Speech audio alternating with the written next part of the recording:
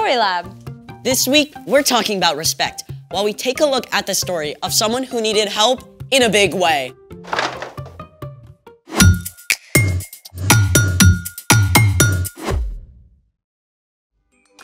Hey, I'm Skylar. And I'm Sebastian, We're talking about respect. which is showing others that they are important by what you say and do. In today's story, we're gonna hear about someone with complete power to do impossible things. So, I thought we should try something impossible. But if it's impossible, then we can't do it. This is just for fun. And if we can do it, then it it's not impossible. Okay, seemingly impossible. Great, let's try it. Actually, I made a whole list of impossible things. What's the first one? Number one, it is impossible to lick your own elbow. What? I could totally do that. Maybe? Ugh. I concede. Number two, it is impossible to sneeze with your eyes open. I too did it. No, you have to sneeze for real. Here, try this. Uh, uh. I too did it. Still fake. You try. Eyes closed. I need a tissue. Number three, it is impossible to fold a paper in half more than eight times. What if it's a really big paper? Okay, all right. Let's go from uh, that side to that side. Go, go, go. Okay, okay, I'll, I'll stay on this side and then we'll we'll come together. Get over there. Yeah, that side, that side. Okay, okay, okay. Okay. Ready? One. Okay. Okay, this is one. Remember, keep One. track. Is it straight?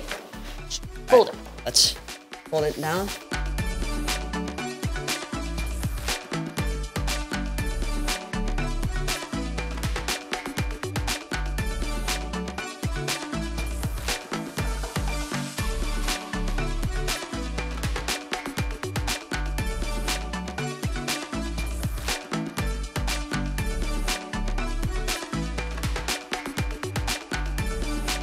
We got five. We got five. Okay. I think we can get eight. I think so. Yeah. Okay. Maybe. Six. Okay. Karate chop it. Ooh.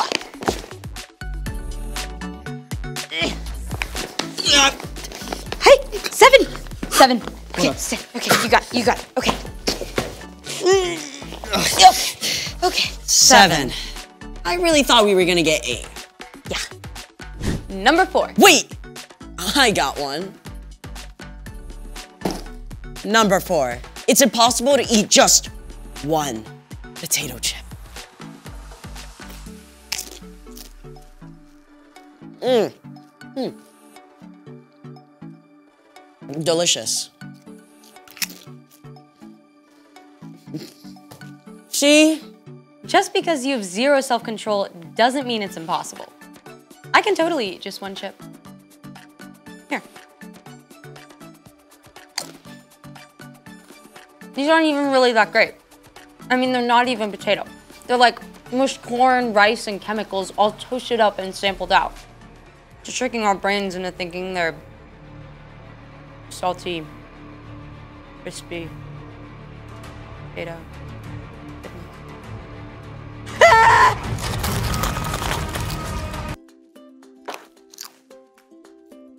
Um, is that all?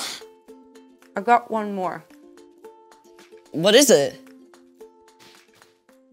You know how people say you're walking on eggshells around somebody? Uh, yeah? Walking on eggshells is a phrase that means to be very careful not to upset someone.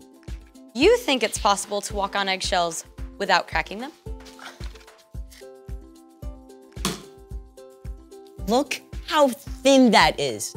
Definitely impossible. But you get to do it anyway. Wait, what? You get to walk on eggs. Let's try it. I don't know about this. Okay, stand here in front of the egg cartons. Now, what now? Just step up on them. Just walk? Well, carefully.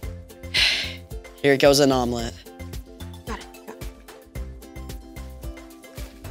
The curved arch of the eggshell distributes pressure evenly all over the egg rather than concentrating it on one point. That's why engineers even use arches in designing buildings and bridges. How do you feel? Sorta invincible. Just like this egg. That's exceptional. It's time for. The story before the story. Today, we're in Matthew, the first book in the New Testament. But before Matthew, in the very beginning, out of a deep, deep love, God made an amazing world. But when people turned away from God, the world was broken. God made a plan to draw people back into relationship. So at the right time, God sent a tiny baby to be born in the small town of Bethlehem. God's very own son, Jesus. When Jesus grew up, he began to travel from town to town, teaching and healing. And the town of Capernaum was like his home base. Everyone there knew about him. Not just the Jewish people, but the Romans too. Which is where our story starts. We're ready. Hey everyone, I'm Erica. Hey, Erica. Now, one of those Romans who knew about Jesus was a Roman centurion. This man was important. He commanded at least 100 soldiers who did exactly as ordered with no question. Forward! March! And oh, You there! Get me a fig and walnut sandwich at once! Yes, sir. With extra goat cheese! Right away, sir.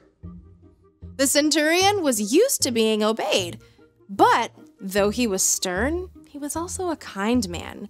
He cared about the soldiers under his command and the servants who worked for him. One day, one of the centurion's servants became desperately ill. The man was so sick he couldn't even move. The centurion may have called for the best doctors, but no one could help the man. So, the centurion did the unexpected. He went to a Jewish rabbi, Jesus, and begged for help. Lord, my servant lies at home and can't move. He's suffering terribly. Shall I come and heal him? Now, you have to understand going to the home of a non Jewish person would make Jesus unclean. It was completely against Jewish custom. But Jesus cared more about the sick man than what people might say. It turned out the centurion did not ask Jesus to come to his home. Instead, he said, Lord, I am not good enough to have you come into my house. Just say the word, and my servant will be healed. I, I myself am a man under authority. And I have soldiers who obey my orders. I tell this one go, and he goes. I tell that one come, and he comes. The centurion knew exactly how true authority works. He knew that when he gave a command, he spoke with the power of the Roman emperor, and it would be carried out instantly. And he believed that Jesus' power and authority were so great that all Jesus had to do was speak a word from anywhere, and the servant would be healed. And you know what? The centurion was right. Jesus turned to the crowd around him and said, What I'm about to tell you is true. In Israel, I have not found anyone whose faith is so strong. Jesus made it clear that anyone who has faith can be a part of God's kingdom, not just people who come from the right background. Then Jesus turned to the centurion and spoke the very word the man had hoped to hear. Go. It will be done just as you believed it would. Filled with joy, the centurion raced home, and sure enough, his servant ran out to greet him, completely whole and healed, just as Jesus had said. The end. Wow. I mean, like, remote control healing? The centurion really got it. He had respect for Jesus as the final authority. So, what's our part in the story? Well, like we've seen, God can do the impossible with a single word. God is all powerful and all loving. That means God deserves our ultimate respect. God is most important. Our lives are full of all kinds of things, good things, but our time and attention should go to God first. You can talk to God throughout the day. In the morning when you get up, Or when you're waiting for the bus or in the car, Or when you're at the lunch table or at dinner with your family. right before you're about to go to bed. No matter what you face, whether it's a friend who's sick or a tough math test, God is the one who can give you the strength and patience and peace you need to get through your day. When you make a habit of putting God first, you can do anything. I think you got it. I'll see y'all next time. Bye, Erica. So here's the thing remember, God is most important. Okay, I want to do the egg thing. hey, don't you need to take off your sho- your shoes?